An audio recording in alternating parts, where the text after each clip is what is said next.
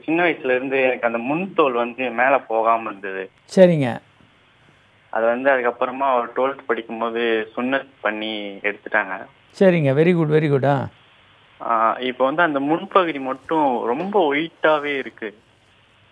Colour ஒயிட்டாக இருக்கனால தப்பு இல்லைங்க. அது வந்து முதல்ல வந்து அந்த முன்தோல் ஒட்டிக்கிட்டு இருந்ததுன்னு வச்சுக்கோங்க. அந்த கலர் வந்து வெள்ளையாக மாறிடும்.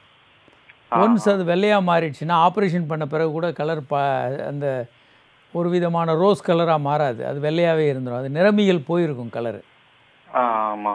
அது இயல்பானதாங்க. அதை ஒன்றும் கவலைப்பட வேண்டாம். அது எதுவும் மாத்துறதுக்கு எதுவும் பிளாக் கலர் மாதிரி வர்றதுக்கு எதுவும் ட்ரீட்மெண்ட் எதுவும் இல்லையா? இல்லைங்க. ஒன்றும் ட்ரீட்மெண்ட் தேவையில்லை உங்களுக்கு. நீங்கள் ஒன்றும் கவலைப்பட வேண்டாம். இது வந்து நீங்கள் வந்து ஆரம்பத்தில் தோல் பின்னால் தள்ளி அந்த இடத்த நல்லா வாஷ் பண்ணியிருந்தீங்கன்னா இந்த மாதிரி பிரச்சனை வந்திருக்காது. அப்படி இல்லாத பட்சத்தில் நீங்கள் கவலைப்பட வேண்டாம்.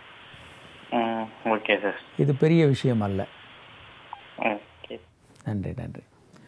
இந்த முன்தோல் நீக்கம் என்பது ஏன் முக்கியம் அப்படின்னா எல்லாருக்கும் தேவையில்லை. அந்த தோலுக்கு அடியில் ஸ்மெக்மா என்ற ஒரு திரவம் சுரக்கும். இந்த ஸ்மெக்மா வந்து எதுக்குன்னா தோலும் அடியில் இருக்கக்கூடிய ஆணுறுப்பும் உராய்வு ஏற்பட்டு தேய்ந்திரக்கூடாதுன்றக்காக ஒரு திரவம் சுரக்கும். ஸ்மெக்மா என்று அதுக்கு பேர்.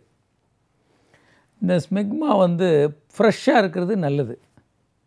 ஆனால் ரொம்ப நாள் அதை நீங்கள் கழுவாமல் விட்டுட்டீங்க அப்படி தோல் மூடியே இருந்ததுன்னா அது அங்கே இருக்க கிருமிகள் உள்ளே போகிறது அதே மாதிரி டெட் டிஷ்யூ இறந்து போன செல்கள் ஆணூர்புடைய முனையில் இறந்து போன செல்கள் அழுக்கு எல்லாம் சேர்ந்து சீல் கூட வரலாம்.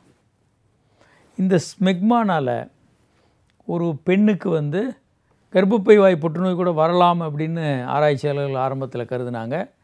அதில் கொஞ்சம் குழப்பம் இருக்குது வருமா வராதான்னு.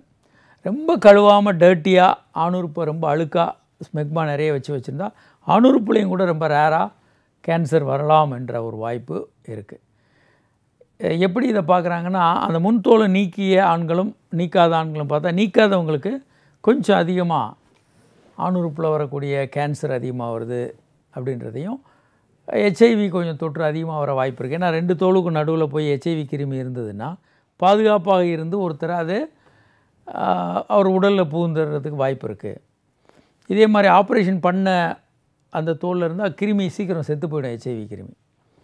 இதனால் தோல் மூடி இருக்கிறவங்களுக்கு கொஞ்சம் வாய்ப்பு கொஞ்சம் அதிகம்.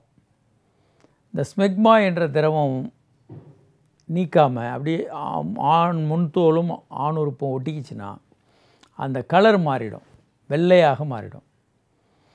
முன்தோல் வெள்ளையாகவும் அதே மாதிரி கன்னத்தில் உட்பகுதி வெள்ளையாகவும் மாறுறது வந்து நல்லதில்லை. அது கேன்சராக மாறுவதற்கு ஒரு சின்ன வாய்ப்பு அதிகம். வாய்ப்பு இருக்குது அதனால் கன்னத்தினுடைய உட்பகுதியில் இந்த அந்த காலத்திலலாம் அந்த புகையிலை ஒதுக்கி ஒதுக்கி வைப்பாங்க. இப்போ பான் ஒதுக்குறாங்களே. தொடர்ந்து ஒரு ஆள் பான்பராக் இந்த பக்கம் ஒதுக்கியே வச்சுருந்தாருன்னா அவருக்கு அந்த ஏரியாவில் அந்த சைடில் புற்றுநோய் வர்றதுக்கான வாய்ப்புகள் அதிகம்.